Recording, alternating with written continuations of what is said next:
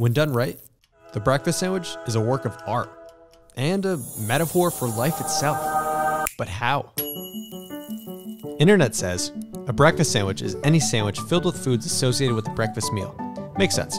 Let's start with some basics eggs, bread, cheese, bacon, sausage, ham, butter, other stuff.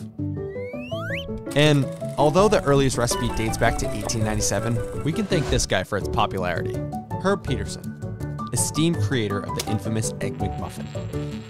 Wide varieties of breakfast sandwiches now roam free across the world.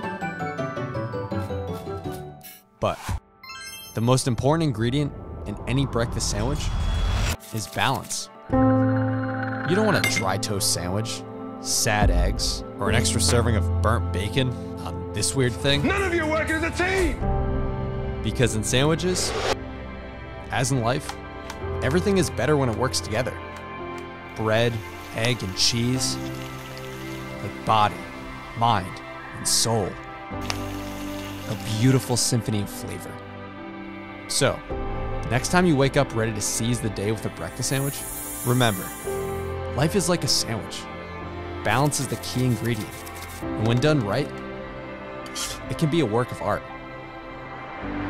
Oh, we just made the perfect breakfast sandwich. I am very excited to share these with some of my friends.